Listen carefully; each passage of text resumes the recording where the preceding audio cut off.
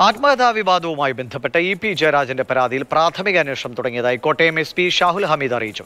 D സിയിൽ നിന്ന് വിവരങ്ങൾ തേടും. ആവശ്യമെങ്കിൽ ഇ പിയുടെ മൊഴി രേഖപ്പെടുത്തുമെന്നും എസ് പി പറഞ്ഞു.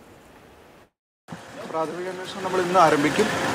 അപ്പോൾ പ്രാഥമിക അന്വേഷണത്തിന്റെ പരിധിയിൽപ്പെടുന്ന എല്ലാ വശങ്ങളും നമ്മൾ പരിശോധിക്കും.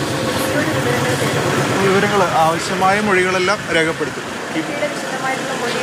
അത് അതാ പറഞ്ഞത്. നമ്മൾ പരിശോധിച്ചതിന് ശേഷം ആവശ്യമായ മൊഴികൾ എന്തൊക്കെയാണോ അതെല്ലാം തന്നെ നമ്മൾ രേഖപ്പെടുത്തണം എന്തൊക്കെ കാര്യങ്ങളാണ് പരിശോധിക്കുന്നത്? ഇനി വ്യാജരേഖ ചമക്കലാണോ ഗൂഢാലോചനയാണോ? അതാ പറഞ്ഞത്. നമുക്കിപ്പോൾ ഒരു പരാതിയാണ് ലഭിച്ചിരിക്കുന്നത്. അതൊരു പ്രാഥമിക അന്വേഷണത്തിനാണ് തന്നിരിക്കുന്നത്. അതിന്റെ പരിധിയിൽ വരുന്ന എല്ലാ വശങ്ങളും പരിശോധിക്കും.